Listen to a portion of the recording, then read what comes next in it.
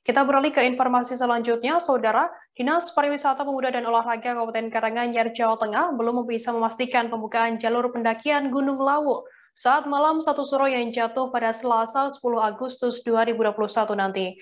Hal ini terkait dengan pemberlakuan pembatasan kegiatan masyarakat atau PPKM yang masih berlangsung. Sejak PPKM diberlakukan awal Juli lalu, jalur pendakian Gunung Lawu ditutup. Padahal gunung di perbatasan Jawa Tengah dan Jawa Timur ini selalu ramai pendaki saat malam satu suro. Mayoritas adalah mereka yang melakukan ritual atau ziarah gunung ke Hargo Dalam.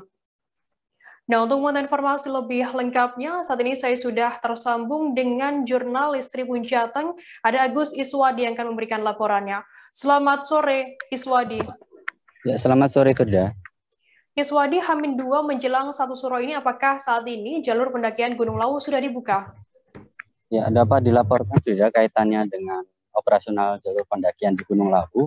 Dari pantauan di lokasi tadi siang hingga sore, nampak belum ada kepastian terkait jalur pembukaan jalur Gunung Lawu.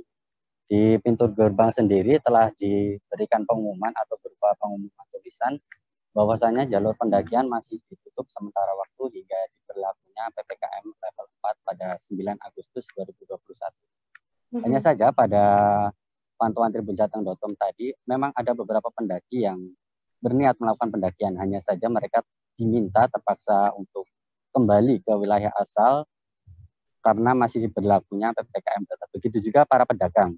Tadi kebetulan Tribun Jateng juga telah wawancara kepada pedagang yang ternyata berniat hendak berjualan di pos 1 di jalur Cemoro Kandang akan tetapi karena PPKM masih berlangsung sehingga jalur pendakian ditutup dan terpaksa berjualan di depan gerbang basecamp Cemoro Kandang. Begitu Firda. Mm-hmm. Iswadi kemudian sebelum mungkin sebelum pandemi ya, bagaimana kondisi sebenarnya jalur pendakian saat satu suro? Ya, dapat dilaporkan berdasarkan informasi yang dihimpun dari petugas basecamp saat satu suro banyak sekali mayoritas pendaki yang terutama pendaki ritual melakukan pendakian pada bertepatan dengan satu suro. Mengingat untuk tahun ini karena satu suro tepat jatuh pada pukul tanggal 10 Agustus 2019 biasanya pendaki itu melakukan pendakian pada malamnya atau pada 9 malam 9 Agustus 2021. Mm-hmm. Berdasarkan informasi juga untuk bertepatan dengan malam satu suro untuk jumlah pendaki sendiri diperkirakan sekitar 200-an pendaki dan mayoritas mereka melakukan pendakian melalui jalur Semorokan. Begitu Frida. Oke, Swadi, bagaimana situasi terkini di base camp jalur pendakian Gunung Lawu Karanganyar selama uh, pemberlakuan PPKM level 4 ini?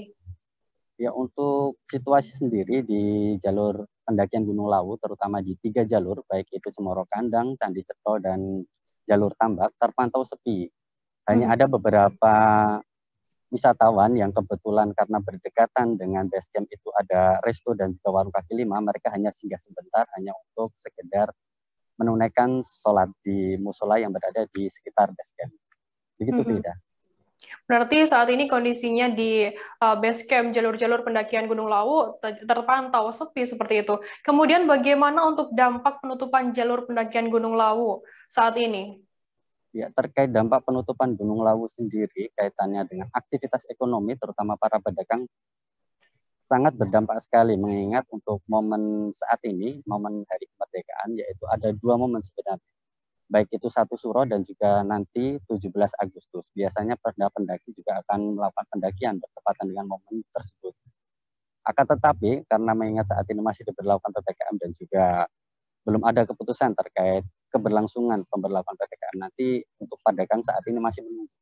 Sehingga otomatis sektor ekonomi di sekitar jalur pendakian juga turut terdampak dengan diberlakukannya PPKM Begitu, Frida. Hmm. Oke, baik Tribuners. Tadi jurnalis kami juga sempat melakukan wawancara dengan seorang pedagang warung di pos 1 jalur pendakian Cemoro Kandang Tawangmang Karanganyar bernama Parimin. Berikut liputan lengkapnya untuk Anda. Sungaken penjaga pos kan ngajeng munggah nyatane ditutup belum disuruh bonus Pak. Tadi jenengan boten ngertos. Ngertos ditutup. Ditutup. Sampun kajut ulahan. Niki wau ngampel niku meja ten base camp. Panjenengan podang jualan di pos 1. Pas satu pun limulasan tahun. Oh, satu tahun. Nah, jenengan warga pun Pak? Iku loh, warga desa Sedayu Kelurahan Tengklik. Eh, jualan niku jenengan dinten apa mawon? Satu minggu. Sabtu. Oh, amargi sepi niku. Iya, Niku 4 bulan ndak jualan. ya, jualan. Berarti rencananya mulai hari ini. Iya, Tapi ternyata masih tutup.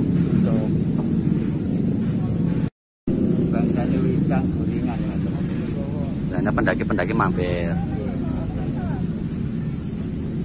Am- Asmo jangkep, Bah. Kula Pak nganu Paimin Pak Sulis, Paimin Pak Sulis. Pak Sulis. Yuswa pinten? Umur dari suwida kali. Tribuners, informasi tadi sekaligus menutup perjumpaan kita dalam live update hari ini. Jangan lupa saksikan terus live update setiap hari untuk memperbarui informasi Anda. Masih di tengah pandemi, kami terus mengingatkan Anda untuk selalu menerapkan protokol kesehatan di mana pun Anda berada. Saya Firdananda beserta kru yang bertugas pamit undur diri. Terima kasih dan sampai jumpa. Jangan lupa like, subscribe, dan share ya.